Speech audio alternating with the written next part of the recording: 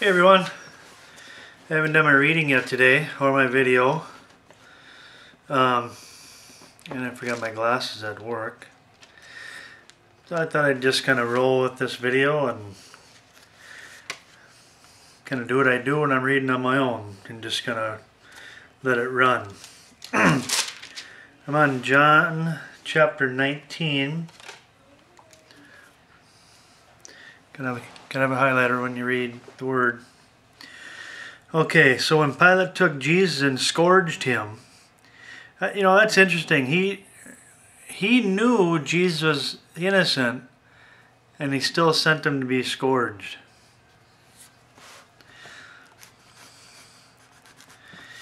Okay, verse 2 And the soldiers twisted a crown of thorns and put it on his head, and they put on him him on him a purple robe. And I've become really dependent on those cheater glasses. Um, then he said, then they said, Hail, King of the Jews, and they struck him with their hands. You know, I was um, thinking, you know, a couple weeks ago, and I made this point on my one of my blogs recently that, um, you know, there's some some men that would rather face physical beating and torture than they would being humiliated and mocked and disrespected. Because um, that's, you know, we're kind of wired that way. You know, that's why in the Word, it's like not surprising, the Word knows, God knows well, how we're wired and how women are wired. That's why it's interesting that, is it Ephesians? And it says, um, um, men love your wives because the number one need of women is that they feel loved by their husbands. And it says women respect your husbands because that is our number one need. Typically, I mean, for the most part, um, men have a real problem, most of them, with being disrespected. Um, so anyway, that's just a side little tickler there for you. That made me, uh, I was thinking of. Um, okay, verse 4. Pilate then went out again and said to them, Behold, I am bringing him out to you, that you may know that I find no fault in him. To which I'd say, well, why'd you scourge him then? Right? Then Jesus came out wearing the crown of thorns and the purple robe, and Pilate said, Behold the man. Therefore, when the chief priests and the officers saw him, they cried out, Crucify him, crucify him. Pilate said to them, You take and crucify him, for I find no fault in him. You know what?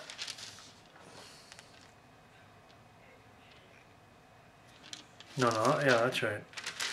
Did I do 19, 18 yesterday?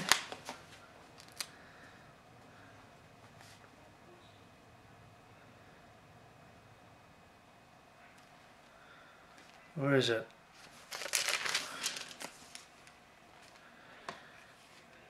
Yeah, you know what? I did I did chapter 19 yesterday, but I didn't do a lot of highlighting. Not the not that I shouldn't have. It's just that I um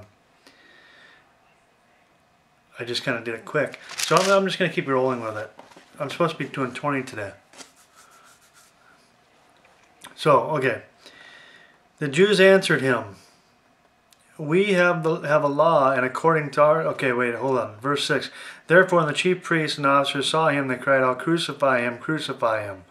Pilate said to them, You take him and crucify him, for I find no fault with, in him.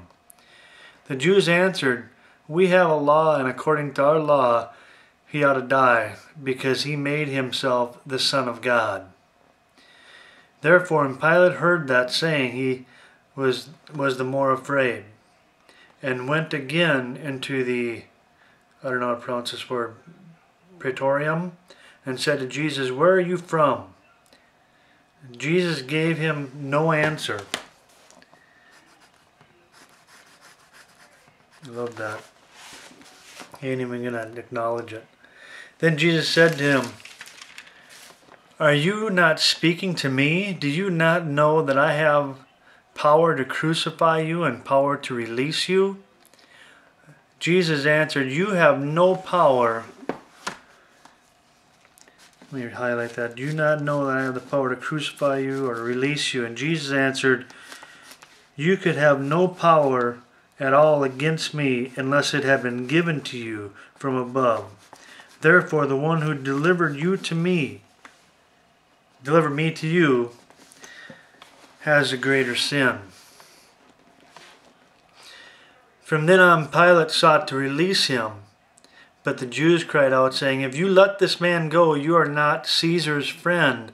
Whoever makes himself a king speaks against Caesar.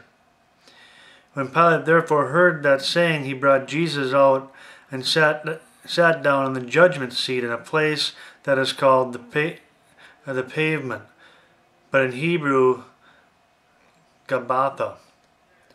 Now it was a preparation day in the Passover, and about the sixth hour. And he said to the Jews, Behold your king.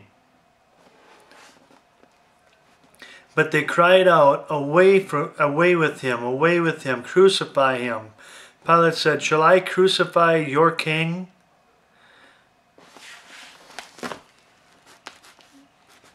The chief priests answered, We have no king but Caesar. No, your king is your father, the devil, right? You're bowing down to a king. You're either bowing down to King Jesus or you're bowing down to the prince of this world and everything that falls underneath it.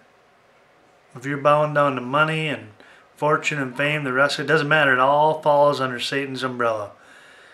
For there's only one real king to bow down to, the King of Kings and Lord of Lords, King Jesus, right? Then he delivered him to them to be crucified. So they took Jesus and led him away. And he, bearing his cross, went out to a place called the place of the skull, which is called in Hebrew Golgotha, where they crucified him and two others with him, one on either side, and Jesus in the center.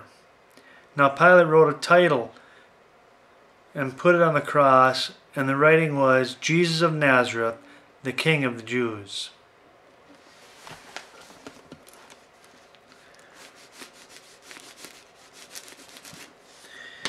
Then many of the Jews read this title.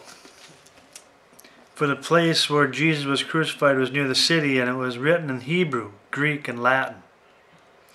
Therefore, the chief priests of the Jews and to Pilate, Therefore the chief priests of the Jews said to Pilate, Do not write the king of the Jews, but he said, I am the king of the but he said, I am the king of the Jews. So he wanted him to change it from the king of the Jews to Jesus saying, I am the king of the Jews. Pilate answered, What I have written, I have written. Then the soldiers, when they had crucified Jesus, took his garments and made four parts to each, to each soldier a part, and also the tunic. Now the tunic was without seam, woven from the top to one, from the top in one piece. They said therefore among themselves, Let us not tear it, but cast lots for it. Whose it, whose it shall be. That the scripture might be fulfilled, which says, They divided my garments among them, and for clothing they cast lots. And if that one prophecy doesn't get fulfilled, then really, you know, every prophecy is fulfilled to with 100% accuracy, right? Okay, therefore the soldiers did these things. Now there stood by the cross of Jesus his mother and his mother's sister, Mary the wife of, is it Clopas? C-L-O-P-A-S, Clopas, and Mary Magdalene. When Jesus therefore saw his mother and his disciples, whom he loved, standing by, he said to his mother, Woman, behold your son. Then he said to this disciple, Behold your mother. And from that hour that disciple took her to his own home. You know, this is one thing I'm, I'm very curious about. When I read this another earlier, um, I was reading a little bit of it earlier today, and um, that part kind of struck me. Where's Joseph? Does anybody have an answer for me on that? Why is my why is Mary going to the home of John? Is Joseph dead or is he gone or what's the deal? Okay, after this, Jesus, knowing that all things were now accomplished, the scripture that the scripture might be fulfilled, said, I thirst. Now a vessel full of sour wine was sitting there, and they filled the sponge with the sour wine, put it on a hyssop, on hyssop, and put it to his mouth. So when Jesus had received the sour wine, he said, It is finished. And bowing his head, he gave up his spirit. You know, I think that that right there, you hear it to me as real silly doctrine, where people say that some preachers will say Jesus went for three days to hell to be tortured and brutalized and make payment for our sins and be redeemed. And and uh, I've even heard silliness to say that that Satan and the demons had their way with Jesus. No.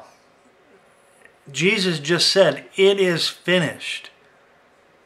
Now, what he did in those three days, you know, whatever it was, and and I've heard people preach on this, and I'm not versed on it enough to be able to say, but preaching to those that are in um, being held, I don't, I don't really um, totally eh, get it all, but I know this: He said on the cross, "It is finished." That doesn't mean he's got to go to hell to be tortured and sub- submissive to Satan and the demons. It is finished, he said. And by the way, that is a, a legal term when somebody served their sentence and the, the debt has been paid, their debt, criminal debt or civil debt to society. Um, I heard this preached years ago, but they put on the cell door what their crime is or what they're doing time for or whatever the deal is. And then when their time is time is served, there's a it's stamped it is finished or finished or whatever, you know. You get the idea, but it's a legal term that that transaction or that that um, sentence is, is, is done. Um, so this legal transaction from Jesus is our legal legal transaction. He purchased us back. He paid our sin debt for those that have surrendered our life to Him. Okay, verse 31. Therefore, because it was the preparation day, that the body should not remain on the cross on the Sabbath, for the, that Sabbath day was a high day. The Jews asked Pilate that their legs might be broken, that they might that they might be taken away. Then the soldiers came and broke the legs of the first and of the other who was crucified with him. But when they came to Jesus and saw that he was already dead, they did not break his legs. But one of the soldiers pierced his side with a spear, and immediately blood and wine came out. I'm sorry, blood, blood and water came out. And he was seen, and he who has seen has testified, and his testimony is true, and he knows that he is telling the truth, so that you may believe. For these things were done that the scripture should be fulfilled. Not one of his bones shall be broken. And again, another scripture that says, They shall look on him whom they have pierced. After this, Joseph and of Arimathea, being a disciple of Jesus, but secretly, for fear of the Jews, asked Pilate that he might take away the body of Jesus, and Pilate gave him permission. So he came and took the body of Jesus. And here, not since chapter 3 do we hear this name mentioned. As Nic- and Nicodemus, whom at first came to Jesus by night, also came bringing the mixture of myrrh and aloes, about a hundred pounds. Then they took the body of Jesus and bound it in strips of linen with the spices and as the custom of the Jewish burial. burial or, is to Jesus to bury. So I'm running out of time. God bless you all. See ya.